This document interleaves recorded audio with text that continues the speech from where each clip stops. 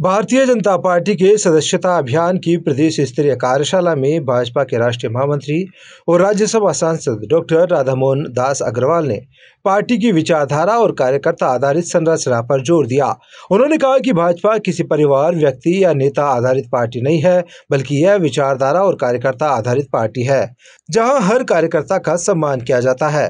भाजपा के राष्ट्रीय महामंत्री और राज्यसभा सांसद डॉक्टर राधामोहन दास अग्रवाल ने बताया कि भाजपा ने आज तक अपने विचारों से समझौता नहीं किया है, इसलिए यह दुनिया की सबसे बड़ी लोकतांत्रिक पार्टी बन गई है। वहीं केंद्रीय मंत्री अर्जुन राम मेघवाल ने विपक्ष के नेताओं पर निशाना साधते हुए कहा कि विपक्ष के नेता खुद को हिंदू बताते हैं, लेकिन देशवासियों को मूर्ख बना रहे हैं। उन्होंने विपक्षी दलों पर भी तीखे शब्दों में हमला बोला और कहा कि वे भारत में अराजकता की स्थिति पैदा करना चाहते हैं, लेकिन भाजपा उनके मंसूबों को सफल नहीं होने देगी। देखिए, एक सब्जेक्ट है जिसके लिए मुझे आपसे वार्ता करनी है उसको थोड़ा सा आपको ब्रीफ भी करना है और समझाना भी है। वो सब्जेक्ट है लेटरल एंट्री लेटरल एंट्री ये टर्मिनोलॉजी 1950 के आसपास पंडित नेहरू के समय शुरू हुई थी। और ये सोचा गया कि भाई स्पेस के सेक्टर में कोई अनुभवी आदमी हमारे देश में काम कर रहा है, विदेश में कर कर रहा है तो एक आईएएस की बजाय अगर वो काम करे तो बेहतर रहेगा ये सोचा गया। तो इक्का दुक्का उन्होंने भी लिया। उनके समय शुरू हुआ उन्होंने नियुक्तियाँ भी दी। इंदिरा जी के समय भी वो जारी रहा लेटरल एंट्री का विषय। राजीव गांधी जी के समय भी, भी जारी रहा। और ऐसा नहीं है कि मोदी जी ने ही कोई पहली बार शुरू किया है। 2005 में जब मनमोहन सिंह जी की सरकार थी, तब एक एआरसी एडमिनिस्ट्रेटिव रिफॉर्म कमीशन बना 2005 में। और उस कमीशन ने रिपोर्ट दी कि आप इसको व्यवस्थित करिए स्ट्रीमलाइन करिए। ये ऐसा नहीं है मर्ज़ी आओ जिसको ले लो। और कोई और इंटेलिजेंट है, वो छूट गया। आपका पैरामीटर क्या है? तो 2014 तक ये सरकार में थे, अपनी ही जो कमीशन की रिपोर्ट थी, उसको लागू नहीं कर पाए। 2014 में जब नरेंद्र मोदी जी आए तो उनके सामने भी ये लेटरल एंट्री का विषय आया। तो इन्होंने कहा, इसको आप नीति कमीशन नीति आयोग को दे दो, इसको व्यवस्थित करना है।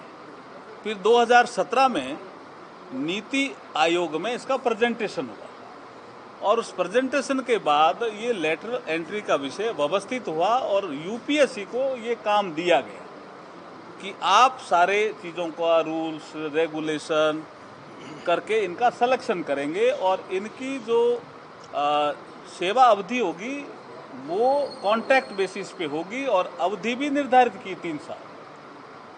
तो पहले तो ये विषय है कि it is not a permanent job number one दूसरा विषय यूपीएससी जो आईएएस आईपीएस की वैकेंसी निकालते हैं, उसे ये अलग है। संख्या भी बहुत कम रहती है। इस बार जो एक यूपीएससी को लेटर भेजा गया डीओपीटी की तरफ़ से, और उसके बाद ये सोशल मीडिया में विषय बड़ा बना। मैं भी कल मेरे क्षेत्र में था, मुझे भी कुछ आपके साथियों ने जब ये प्रश्न किया तो मैंने कहा, सबसे बड़ा उदाहरण तो डॉक्टर मनमोहन सिंह जी हैं लेटर एंट्री के। सबसे बड़े उदाहरण हैं। आपने कैसे उनको 1976 में सीधा ही फाइनेंस सेक्रेटरी बना दिया जी? तो ऐसे बहुत से उदाहरण हैं, मोन्टेंग सिंह, आलू वालिया भी उदाहरण है, और से कितने ही नाम ले सकता हूँ विमल जानाल से लेकर के। लेकिन आज प्रधानमंत्री जी ने एक शानदार निर्णय लिया कि, और इससे ये सिद्ध होता है कि ये सरकार संवेदनशील है, सुनती है सबकी। कल हमारे अश्विनी वैष्णव जी ने आपको डेटा दे करके कहा था कि ये जितनी वैकेंसी जाती है साल भर में, उसके 0.5 परसेंट है। लेकिन फिर भी आज प्रधानमंत्री जी ने निर्णय लिया। हमारे प्रधानमंत्री कार्यालय में जो एमओएस है, डॉक्टर जितेंद्र सिंह जी, जो डीओपीटी को भी देखते हैं, उन्होंने यूपीएससी को लेटर लिखा कि सोशल जस्टिस का मुद्दा जब तक सेटल नहीं हो, तब तक हम इसको विड्रॉ करते हैं। तो इसका मतलब रिजर्वेशन के प्रति भी नरेंद्र मोदी जी की नीति स्पष्ट है। सोशल जस्टिस के प्रति भी नीति स्पष्ट है। इसलिए हम प्रधानमंत्री जी का धन्यवाद करते हैं। ये विषय मुझे आपको कहना था। अब आपके इसमें प्रश्न होंगे। एक सुप्रीम कोर्ट का हाल ही में एक फैसला आया, और वो फैसला था कि शेड्यूल कास्ट कम्युनिटी का सब कैटेगराइजेशन। दोनों के। आर्टिकल थ्री फोर वन में ये मामला गया। थ्री फोर वन में एससी की जातियाँ कौन कौन सी होती है वो लिखा है। लेकिन इस फैसले में एससी और एसटी उन्होंने दोनों ही ले ली सब categorisation of the schedule caste. एक तो विषय उनके सामने ये था सुप्रीम कोर्ट के सामने। ये विषय पंजाब से चला आंध्रा में गया कर्नाटका में गया और फिर सारी पीआईएल एक जगह आई। उस विषय में जब सुप्रीम कोर्ट का फैसला आया तो इस फैसले के दो पार्ट हैं। एक पार्ट है ऑब्जर्वेशन का। जो सुप्रीम कोर्ट ने ऑब्जर्वेशन किया, वो तो है कि क्या शेड्यूल कास्ट में क्रीमी लेयर होना चाहिए? हो सकता है क्या? दिक्कत क्या है? ये सब ऑब्जर्वेशन है. It is not it is not the part of the judgement लेकिन जजमेंट का पार्ट क्या है? जजमेंट का पार्ट ये है कि अगर राज्य सरकारें चाहें, उन्होंने केंद्र सरकार को निर्देशित नहीं किया जी वर्डिक्ट में.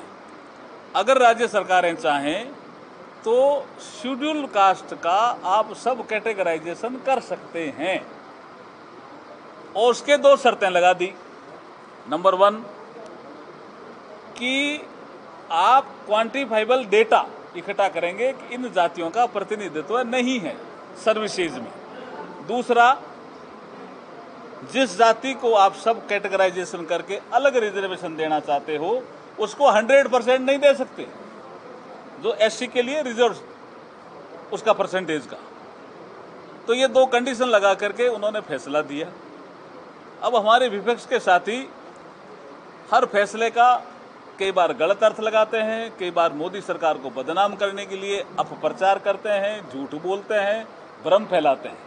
इसलिए इन्होंने भ्रम फैलाया पहले तो कि मोदी सरकार ने इसमें क्रीमी लेयर कर दी तो हमारे अनुसूचित जाति और जनजाति से संबंधित सारे एमपी 9 अगस्त को प्रधानमंत्री जी से मिले 10 बजे, प्रातः 10 बजे।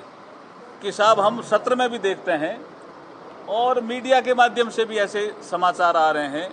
ये क्रिमिनल हमारे पे लागू हो गया क्या? तो उन्होंने कहा, आप लिख के दो। तो उन्होंने लिख के दिया और ये भी उसमें रिक्वेस्ट थी कि आप ये भ्रम दूर करेंगे। तो उसी दिन प्रधानमंत्री जी ने कैबिनेट की बैठक में इस विषय को रखा और डिसीज़न लिया कि creamy layer is not a part of the decision. और ये अनुसूचित जाति और जनजाति पे लागू नहीं है ये कहा। और उसका अश्विनी वैष्णव जी ने पेश करके आपको बताया। तो ये दो बातें अलग अलग है और जो बंद का विषय है वो संगठन अपने अपने हिसाब से करते रहते हैं। आ, सरकार ने मीटिंगें ली है सरकार ने प्रदेश लेवल पे भी मीटिंग ली है सरकार ने आईजी और जो डिविजनल कमिश्नर डिस्ट्रिक्ट कलेक्टर और हमारे एसपी सबको इसके लिए पाबंद किया है कि लॉ एंड ऑर्डर मेंटेन रहे शांति बनी रहे। मुख्यमंत्री भजन लाल शर्मा ने कार्यशाला में भाजपा के कार्यकर्ताओं की मेहनत और समर्पण की सराहना की। उन्होंने कहा कि भाजपा के ऊर्जावान कार्यकर्ता ही पार्टी की ताकत और रीढ़ की हड्डी है।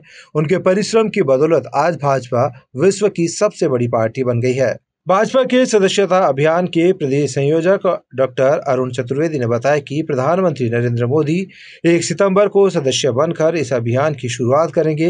इसके बाद विभिन्न स्तरों पर चरणबद्ध तरीके से कार्यशालाएँ और सदस्यता अभियान की शुरुआत की जाएगी। पर लॉन्चिंग होगी। दो और तीन बार राज्यों की लॉन्चिंग जहाँ हमारी सरकार है, मुख्यमंत्री को सदस्य बनाएँगे। नीचे फिर प्रदेश अध्यक्ष और प्रदेश के बड़े नेताओं को, चार और पाँच को। प्रत्येक ज़िले में एक प्रेस कॉन्फ्रेंस करके जिलों के स्तर पर सदस्यता के अभियान की लॉन्चिंग करने का काम पार्टी का चलेगा इस संबंध में मुझे जानकारी देनी थी। आपका कोई प्रश्न हो तो उसको मैं प्रयास करूँगा समाधान। संगठन का काम है और संगठन के काम में कल एक बहुत बड़ा पर्व रक्षाबंधन का हुआ है। इस कारण से उस सब के बाद भी हमारी जो अपेक्षा थी उसके लगभग लगभग सत्तर परसेंट लोग आज इस बैठक में थे। कुछ लोगों ने अपने कारण, जैसे उदयपुर की विशेष स्थिति के कारण से उदयपुर उदयपुर देहात उनको हमने छूट दे रखी थी। कुछ जगहों पर ऐसी स्थिति थी, उन्होंने अपने कहा इस कारण से। फिर भी ऐसा कहा, जिम्मेदार लोग तो उनको कुछ ने सूचना दी थी, हम नहीं आ पाएँगे। कोई नहीं आ पाए तो उन्होंने कहा कि प्रदेश अध्यक्ष जी पूछें, ऐसा क्या कारण था? नहीं आए, उसकी बात हुई कार्यशाला में केंद्रीय मंत्री अर्जुन राम मेघवाल, भागीरथ चौधरी, उप मुख्यमंत्री दिया कुमारी और डॉक्टर प्रेमचंद बैरवा समेत भाजपा के कई वरिष्ठ नेता मौजूद रहे। इस दौरान एक सितंबर की तैयारियों को लेकर चर्चा भी खास रही।